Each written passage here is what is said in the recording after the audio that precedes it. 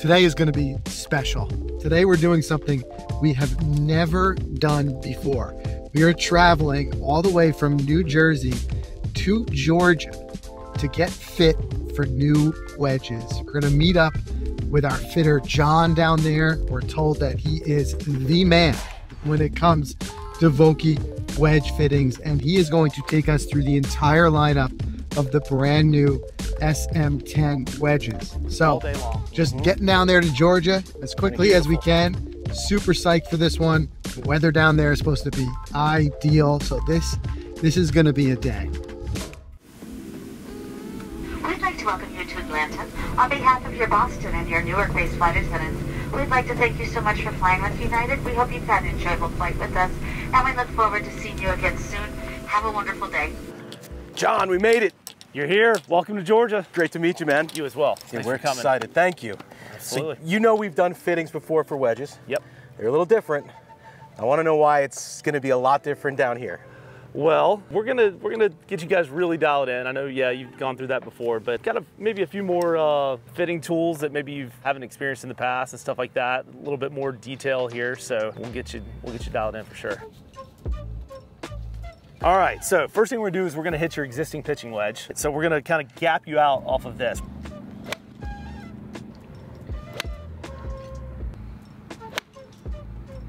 All right, so we're gonna kind of build off of that, right? Okay. So if this is kind of our, you know, typically a 140 club is what we like to play it, four to six degrees of loft increments. Mm-hmm. It's gonna translate into 10 to 15 yards of gapping. Okay. Right, so we're in a 43, probably like a 48, 47, something like that. We'll, we'll kind of see what, what the carry number is. And you said you don't typically chip a lot with that club for the most part. The, the 46? The mm-hmm. 46 I do not. Okay. Same with the 54, I don't. Okay. I mean, my 60 is going to be 80 and in, around the greens, bunkers, everything. Okay. So what the new SM10 lineup does for me as a fitter is gives me the most options I've ever had. So we have 25 different loft and grind options available. Profile shaping is different, right? Toes a little more symmetrical, little square leading edge on the pitching wedges and gap wedges, a little less offset, a little smaller profile. And then as that uh, as we go up in loft into our sand and lob wedges, that CG is raised higher and more forward to help produce a lower uh, spinnier ball flight. Our distance control is so much better now with our CG placement and stuff like that. Way more spin that we're getting. The profiles are beautiful. You know, it's uh, everything about SM10 is making my life a lot easier. So I'm gonna give you this, and then I'm actually gonna give you the same uh, shaft that you that you're playing currently. Okay. Right. So we're gonna marry that up. This is where the fun starts to happen, right here. Oh yeah, absolutely. so cool thing, uh, as you can see what I'm doing here that you maybe didn't experience last time you were fitting is we're using our SureFit system. So interchangeable heads, think kind of like how our metal woods are, Yeah. right? It's a similar type system to- that where I can independently change loft and lie from each other. So I can really kind of get you dialed in cool and then also I can change out shafts. There's the 46 with uh, your same shaft that you're playing currently in your pitching wedge and let's see how this feels. Wow. Really good turf interaction there. That sounded excellent. Yeah, really good. Okay, good start, Yeah. right? Oh, I'm liking That's- it. I get the feel of it. It's pretty crispy right there, bud. All right, so what I'm gonna do, those are really good, and those are carrying a little, almost a little too far. Honestly, it's pretty close to your pitching wedge. Mm-hmm. So maybe because of the efficiency now of the SM10, right? The different CG location, the shaft change, all these different things. Maybe you're hitting a little more efficient. So maybe we need to dial back the loft now and give you a little more separation. So we started at 46, Yep. right?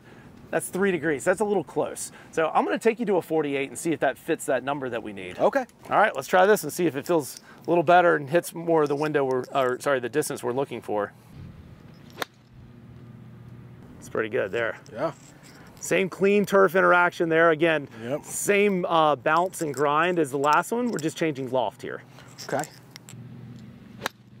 Yeah, there you go. There Good golf swing there. Feel kind of just like it flows a little bit better from your irons now? Absolutely, totally. Okay. That last shot, for example, that carried right at about 130. Perfect. Right, and Yeah. that's that's what we need because Yeah. you said kind of 140 with your pitch and wedge, right? So like, okay, that's more, that's closer. And five degrees, Yeah. four to five typically works best from what I find. About 8,500 RPM of spin, that's great. That's great. Yeah. So that's good stopping power. That's translating to a landing angle of 49.8. That and it, we actually saw it right out there. It's gonna hit and stop on a green and hold a green, but not balloon on you. Yeah. It's gonna get through the wind well. That's so what I that's want. uh That's money. So uh, as a fitter, one of the first things that we do is we, we do an interview process with the player, right? And I may spend five minutes, I, I may spend 10 minutes with that player, really seeing what they're looking to accomplish, learn what their strengths are in wedge play, what their weaknesses are, and anything they can they can provide to me because we're kind of in this together, right? At the end of the day, I, I, just want that player to play better golf. That's really what it's all about. So asking the right questions, the communication, it's we joke around, it's, it's like a good marriage, right?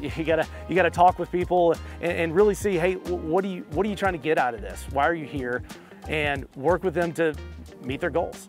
John, I'm excited to get into the gapping because I've been called out on it before. I do have a big gap in there. Okay. There is a method to the madness though. Fair enough, yeah. I yeah. have a reason, it doesn't mean it's a good reason, so you may want to change it. Okay. All of my irons were bent two degrees flat, and I love it.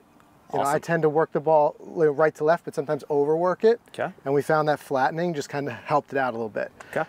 But then I go to a 48, which is a full swing club for me, 52, mm-hmm. 60. Okay. Now the reason I had a 54 um, I just found that I was constantly faced with a 100 yard full swing shot and I couldn't get a 54 there. Okay. Yeah. So I got the 52 and then 52 is like my Swiss Army knife. Okay. I use it for full swing, 100 yard shot all the time, but little pitch shots, I'd rather hit a half shot with my 52 than a full with my 60, if that tells you anything. Love that. So the 52 is a Swiss Army knife. 52 is like my favorite club that's, almost in the That's back. music to Vokey's ears. He, he, he loves a he loves a 52. He loves a 56, old school. You know, so uh, yeah, that's a great wedge. So okay, well, but that's the reason right now for the gap. It doesn't mean it's necessarily going to stay there, but that's where my head's at. This is great because um, I'm a fan of maintaining all your strengths, right? right. And, and, it will just improve any weaknesses. But your strengths are your strengths, right? Yeah. So let's let's cater around that best we can. Very nice. One thing that you were just talking about, right? You get a little too much right to left ball movement. Yes. All right. Well, in the gap wedge, the CG placement has been moved more towards center from the heel side. Should help some with that as well. And then we'll look at that. Uh, excuse me. Look at that lie angle and see if we can make, you know, some adjustments there. Maybe two degrees flat as well to see if that flows better and gives you better dispersion. Generally speaking, do you find that the lie angles in wedges match the irons? You match them up, or, or because of the nature of being a wedge, does it perform a little different that you don't need to? Great question. Um, yes. Uh, typically, what you're in your irons is probably going to flow into your wedges, but it depends on how you use them greenside, right? So there's times where we may be even a little flatter mm-hmm. in a lob wedge for a player because they use it out of the bunker and their hand placement is lower, you know, swing path is, is more shallow, whatever the case may be. Every now and then it's the opposite. It might get somebody a little bit more upright on how they chip and stuff like that, but typically it's either the same or a little flatter is yeah. what, what I've found in my experience. That's why you hit all the shots in the fitting, right? That's right. That's right.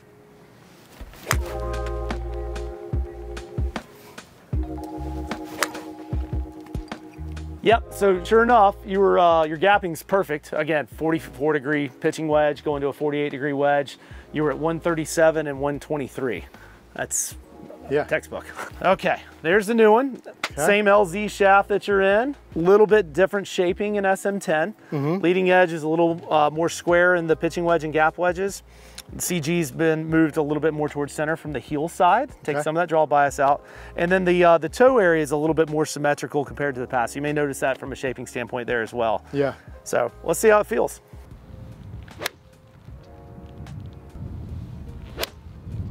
Solid there. Okay, so from a number perspective, right, that one did launch a little higher, but, uh, you know, 128 yards there. All right, let me make a little tweak to it. Okay, see how this feels compared to the last one. Okay. Felt Pretty good. good. there. Yeah. Let's say a little lower. A little right? lower, yeah. yeah. That was that was really solid. 125. Perfect. Yep, right where you need to be.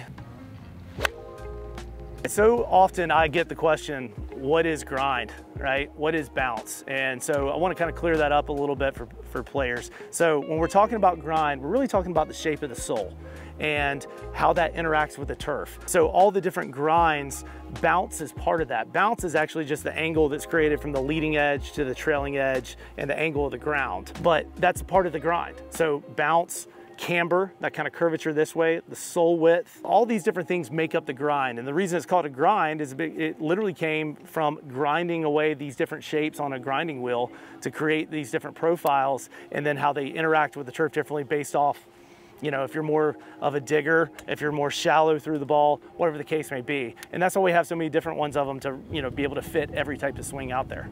So on the next one, we're gonna build off of this, right? In our current setup, we've got some, some you know, bigger spacing and stuff like that. So you've got quite a bit of gap knowing that we've got a 140 plus pitching wedge, 135, 140, and a 125 to 130 uh, gap wedge. Mm -hmm. So mm-hmm. if you've got like 110, 115 and you you're like oh okay i'm just going to try to muscle it that that's it's probably going to be a lot so uh, let's find you a wedge that fills that gap easier from say 115 ease off it some all the way down to like 100 to 95 like and it. then we'll get into your lob wedge because that's a, for you does a lot of stuff right yeah use it kind of green side yeah. use it everywhere full swing all that so we'll mm -hmm. spend more time on that but let's see what works best for this next one okay so don't look, just swing. Okay. Tell me how it feels.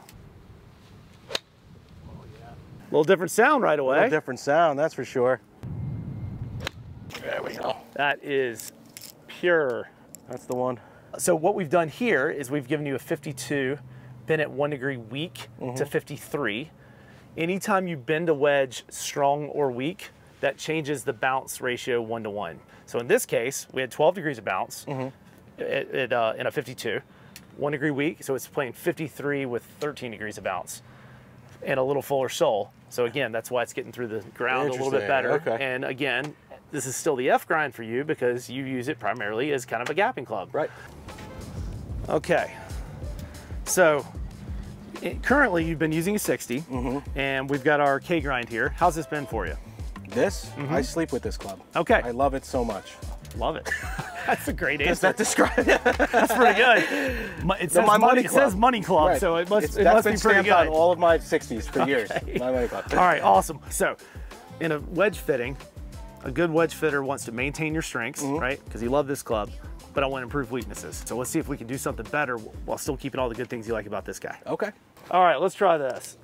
This is a 50 eight is what it says on the bottom of the club, but okay. we'll see from there. Let's hit it and, okay. and then we'll talk about it.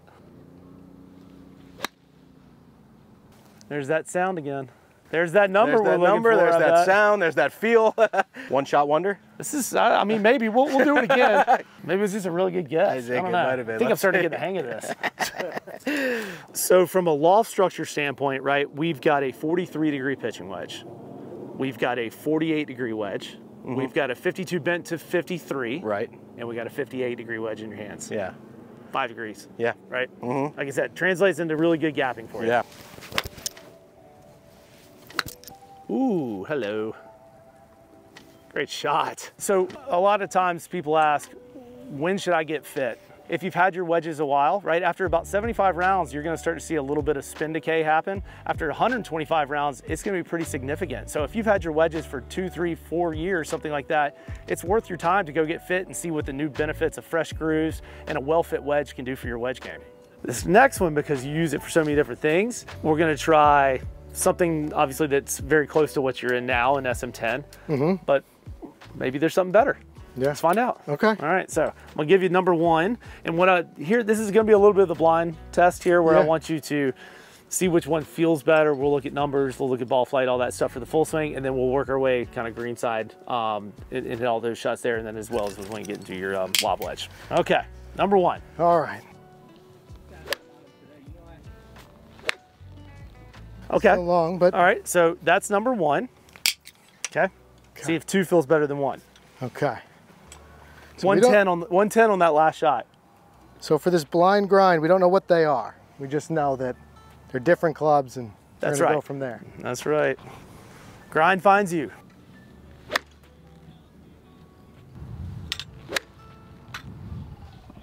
Yeah, good swing. A little higher again. Definitely higher. See how it's, uh, so the only difference I can tell you between those two yeah. is shaft. so there you go. A little higher, like yeah. you said, a little bit different in launch. All right, like so need, now, need a little now bit more I'm, I'm going to introduce a whole nother variable. Okay. All right, number three. okay. There's a method to the madness. now we're going, now I'm about to go cr crazy off, off the reservation here with you. This is gonna be completely different. All right, so like you said before to me, this is your Swiss Army knife. So Yes. You do a whole lot of things with this. Okay, swing this. Let's do the first uh, fuller swing shot first. Okay. Ooh, hello. I like that better. I like that. I liked that better. Still went a long way. Okay. I like I like the It went flight. a long way, right? Yeah. And but it was a much lower launch, better spin, better turf interaction. 100% on all I mean. I could hear it, right? Yeah. Okay. We're on to something. There we go. Yeah, this is this is much more like how I'd like to see it. Again, similar type flight, better turf interaction. All the above. Okay, all the above. I love hearing that. All right, so let's go. Let's go to this left pin, right, which is right at about 80 yards.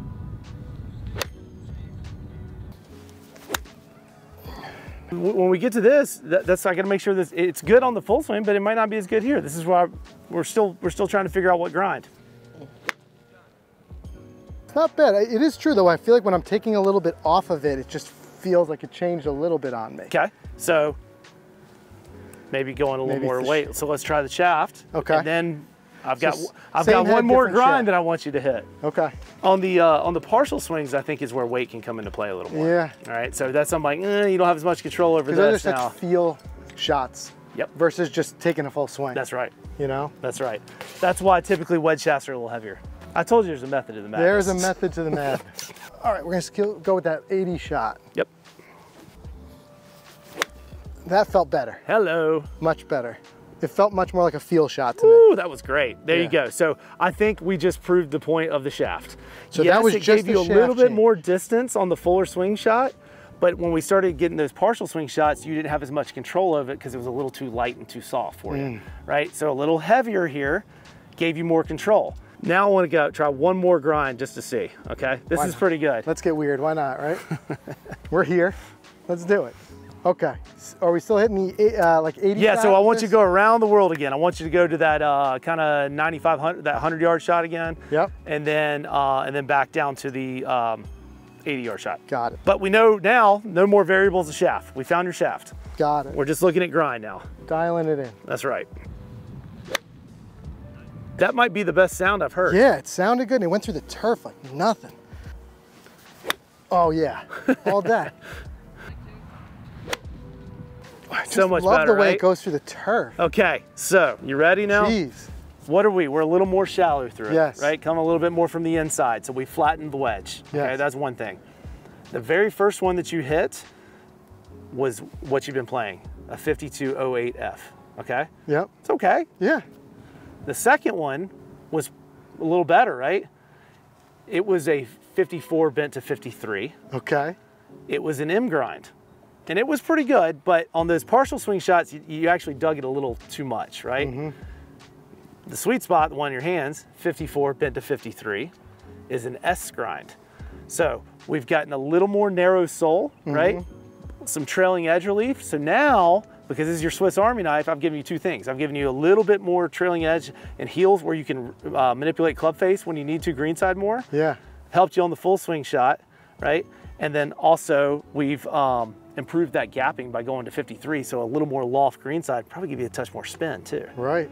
All right, Good let's work our way greenside. That's right. Yeah, absolutely. Options are good. When we're fitting wedges, especially the grinds, we do uh, this process called the blind grind test. And it's kind of like going to the eye doctor a little bit, where you're gonna see uh, and hit a bunch of different of the grinds. And the reason we do that is because they're gonna interact differently with the turf. The ball's gonna come out in different windows, right? So finding the right one, that, that process is so very important to, to determine what's gonna be the best one. And then we kind of do it over again, right? And hit it in different scenarios because one grind may be beneficial for you here, but maybe it's not quite as good as another one in the bunker. So going through that process really helps us eliminate those that really aren't good for you and those that are great for you. So it's, it's, a, it's a pivotal part of getting fit for wedges. So we've got some different grinds here. Okay. Um, something in here may be really close to what you're playing, but Yeah. this is again where the, the grind kind of finds you and you'll feel hopefully one or two of them like, wow, these feel pretty easy. And if we can narrow it down to a couple, great. And then we'll try them out of the bunker and stuff like that. So process of elimination. So Got it. Okay. Okay.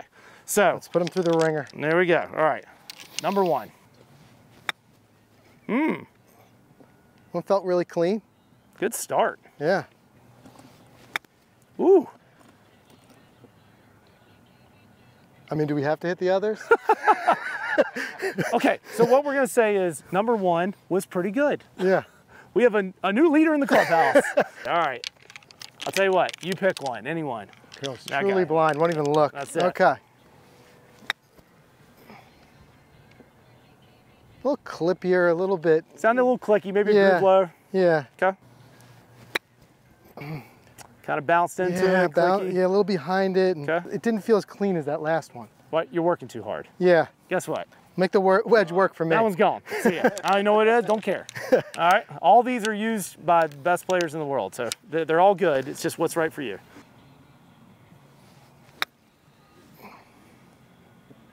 Not bad. Not bad. Forgiving for not, I don't say it was a perfect shot. Okay. Mm-hmm. Mm-hmm. I like that. That was clean. Still kind of liking one better. Okay. So the optimal place to hit a wedge is between grooves two and five. Okay. We're a little high up on the face up there on mm-hmm. some of these marks, but they're centered. They're pretty good. Yeah. Okay. Let's see if we can do better there. So we'll we'll put this. We'll call this the second best so far. Okay. All right. There we go. Mm-hmm. Good. But same thing. Yeah. Just not quite as friendly. Like it wasn't bad. That's it. Okay.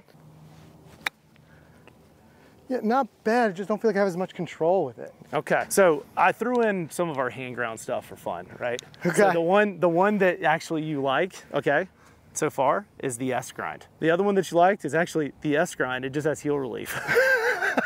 So that's pretty uh, yeah. obvious so that this the is S is the one. This is just some something that uh, we do through our through hand ground and WedgeWorks and, and what um, Aaron and Shane do out on tour and stuff like that. Sometimes we'll we'll, we'll give it some additional polishing, right? So a little bit more relief here, so you can open it up easier, something like that. But in terms of this shot, the way you're playing it, they're the same club. All right, so in conclusion, after today's fitting with Mike, right, we've got a 48 degree gap wedge, right, that kind of gaps them out a little bit better now with his same uh, iron shaft that he's using, so Nippon 120 there. Then in the other two, we jump shafts to the S200, right, our, our kind of standard wedge shaft that we offered. We've got a 5212F bent to 53, and then we've got a 58 uh, 14K. So good gapping across the board now, some good green side stuff with it, a little bit of a change. Obviously going from a 60 to a 58, but he found that, hey, not a big deal. I can make that work. All day long. Yeah. Woo, nippy. Hello. That, that was pretty good. Great. that was good. And then Frank, for you, we ended up in a 48 degree gap wedge as well.